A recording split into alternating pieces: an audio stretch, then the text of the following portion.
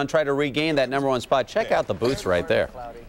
I don't know. Of course, she didn't play in those boots. Those were the warm-up boots. But she was going against Tatiana Golovin, and you know, in the first set, she was down Serena 4-1 in this one, and had to come back. And it was a surprisingly tough match, 7-5 and 6-4. And again, we keep wondering about Serena's focus. I mean, is she completely 100% committed to her tennis game the way she was when she had her Serena Slam and winning four consecutive Grand Slam tournaments? She hasn't won any since.